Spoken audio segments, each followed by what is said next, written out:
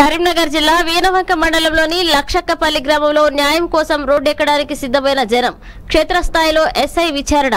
అకారణంగా మహిళలపై విచక్షణారహితనంగా చితకబాదిన వ్యక్తిని కఠినంగా శిక్షించాలని న్యాయం చేయాలని కోరుతూ గ్రామస్తులు మూకుముడిగా రోడ్డెక్కడానికి సిద్ధమయ్యారు. విషయం తెలుసుకున్న వీణవంక ఎస్ఐ కృష్ణారెడ్డి లక్షక్కపల్లి గ్రామానికి చెందిన క్షేత్రస్థాయిలో విచారణ చేస్తారని సంఘటన వివరాలను బాధ్యతలు బాధ్యతల నుండి విచారణ చేపట్టారు.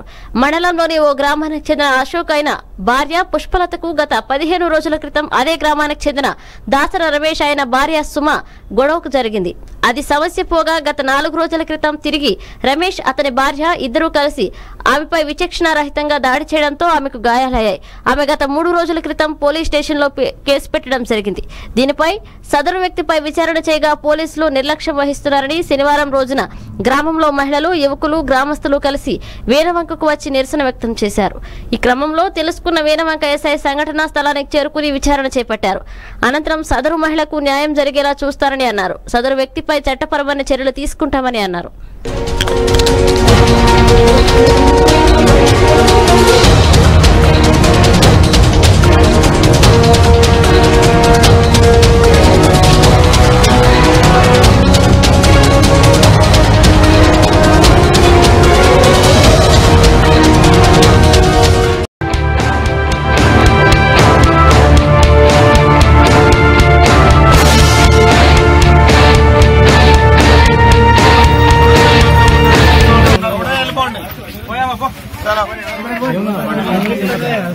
ముందు అందరు వెళ్ళిపోండి అబ్బా మీరు.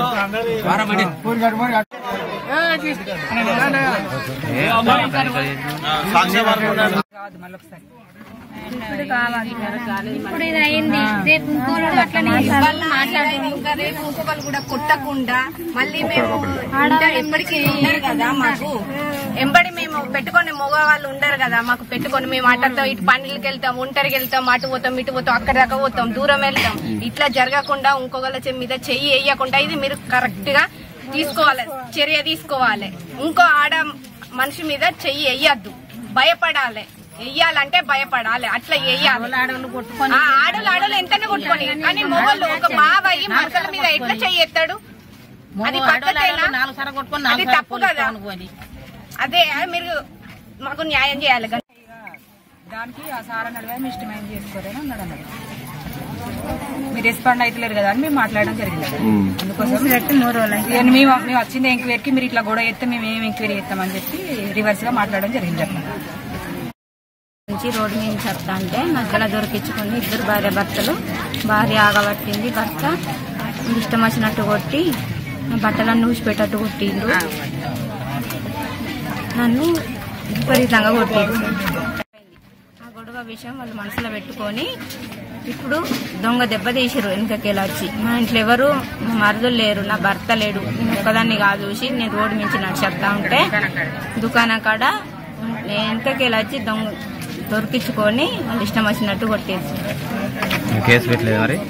కేసు పెట్టినాం. కేసు పెడితే ఇప్పుడు మూడు రోజులకు సార్లు ఇవ్వాలి వచ్చి. ఇగో ఇప్పుడు ఇంక్వైరీ చేస్తారు. మూడు రోజుల నుండి ఇవ్వాలి వచ్చి సార్ వాళ్ళు.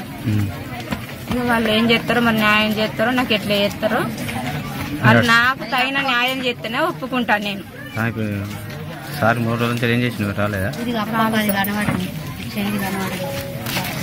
మూడు రోజుల నుండి రాలేదు సార్. మూడు రోజులు అయితే అంది ఇప్పటికి. పిటిషన్ ఇచ్చింది. ఇవాళ వచ్చి ఇవాళ ఇంక్వైరీకి వచ్చింది. గ్రామంలో ఈ మహిళా బై ఇప్పుడే ఇదే ఫస్ట్ టైం జరగడము. ఇట్లాంటి మళ్ళా జరగకుండా చర్యలు తీసుకోవాలని మీ మీ మీడియాకి తెలు- తెలుపుతున్నాము మళ్ళీసారి మాత్రం రిపీట్ కావద్దు సార్. మాకు మహిళలకు మాత్రం రక్షణ కంపల్సరీ ఉండాలి. భయపడుకుంటే అవుతుంది ఇట్లా జరిగిందంటే ఇంకోసారి భయపడలేదు ఎవరైనా ఎవరితో ఇంత చిన్న లొల్లి పెట్టుకున్నా గానీ అవ్వ వాళ్ళు కట్ల కొట్టిరు కదా, ఎవరు కొడతారో ఎట్లానే ఇక భయపడకుండా బ్రతుకుడు అవుతుంది. అట్లా కాకుండా గట్టిగా చర్య